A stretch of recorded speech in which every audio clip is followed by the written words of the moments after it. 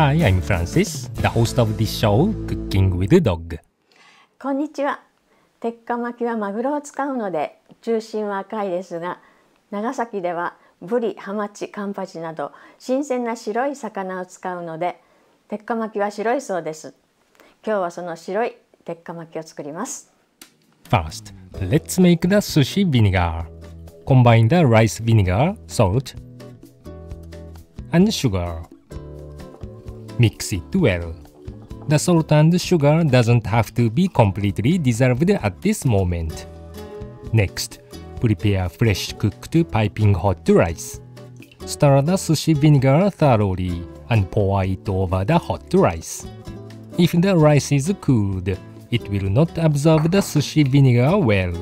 Move the rice paddle quickly as if you are cutting the rice and distribute the sushi vinegar.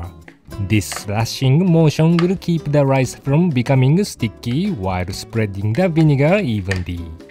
The rice for sushi is made with a little less water than usual because the vinegar is added later. When the vinegar is distributed evenly, use a fan to remove the excess heat. This will help to remove the excess moisture as well, giving the rice a glossy texture. Using a tightly squeezed damp kitchen cloth, gather the rice from the paddle and the edge of the bowl.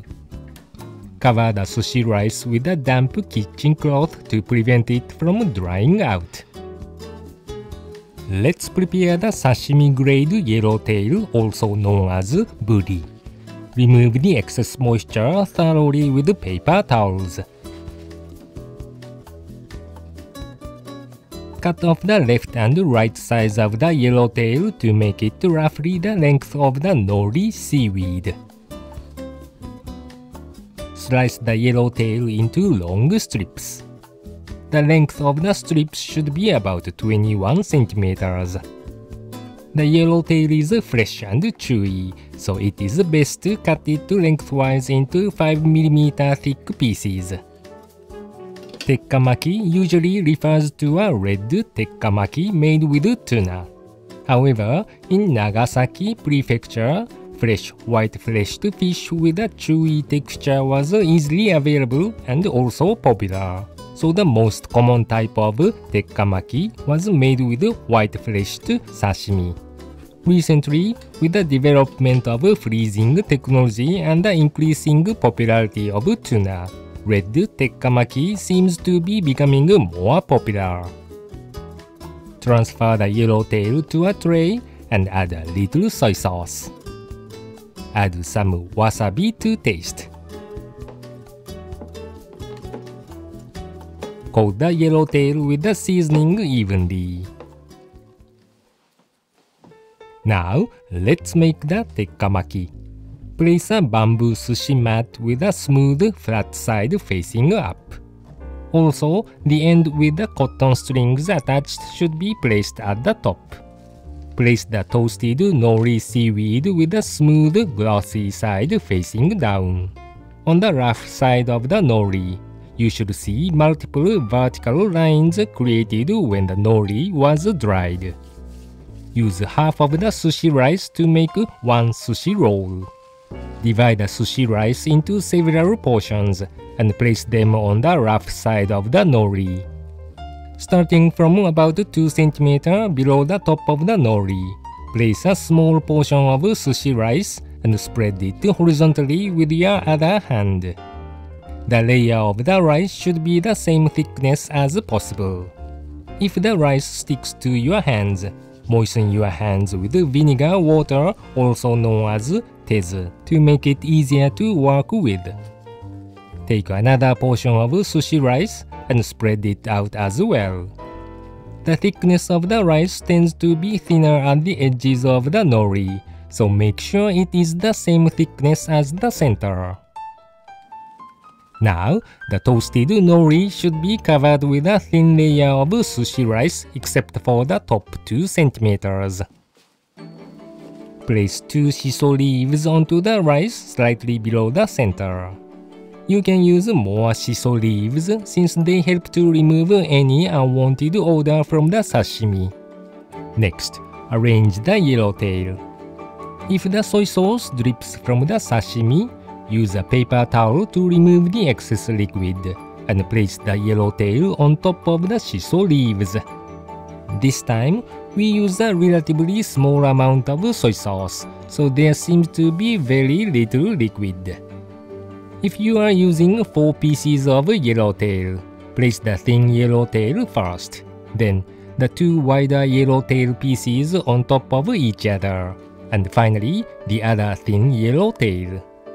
If you place them in this way, it is easier to roll them into a round shape. Cover the top of the yellow tail with two shiso leaves. To roll the sushi, lift the bottom edge of the sushi mat with your thumbs and hold the yellow tail in place with your other four fingers. Then tightly wrap it around and tighten the sushi roll. Pull the sushi roll toward you. Partially remove the end of the sushi mat to check if the sushi is rolled properly. And then tighten it again. Continue to roll until the end of the toasted nori is placed at the bottom of the sushi roll. Since the left and right ends of the sushi roll easily become loose, lightly press the sides with your fingers while holding the sushi roll with your other hand. Remove the sushi mat from the tekkamaki. Let's cut the tekkamaki. Cut off the yellow tail that is sticking out from the side. Cut off the other side as well. The sushi roll is often cut into 8 slices, but since we want it to be bite-sized, we'll cut into slightly thinner pieces. Before cutting, Wipe the knife blade with a damp cloth to lightly moisten it. If the rice sticks to the blade, it will not cut cleanly, so clean the blade with a damp cloth after each slice. Now we have 10 slices. Arrange the slices onto a plate to make the cross sections more presentable. Yellowtail, hamachi, hiramasa, and kampachi have a firm, chewy texture when fresh. If you can find fresh white flesh to sashimi, try making it into sushi rolls.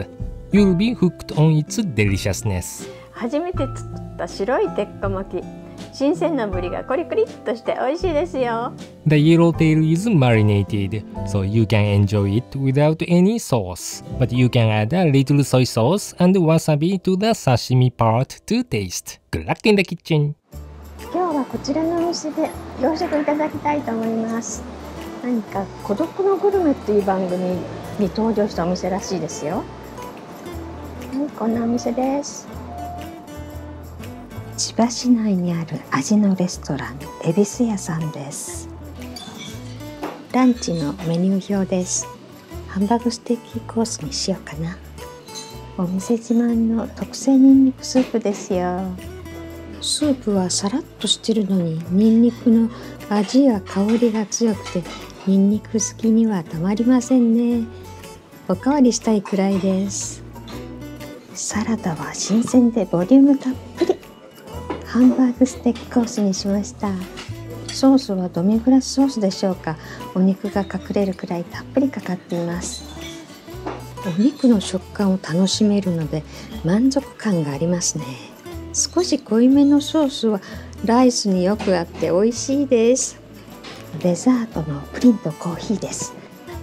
固めのプリンですね。クッキングウィズドッグのプリンとよく似てます。カラメルソースの焦がし加減が絶妙ですっごく美味しいです。ニンニクスープもハンバーグも安定した美味しさですね。とても美味しかったです。今度また別のランチいただきたいと思います。ではまた。バイバイ。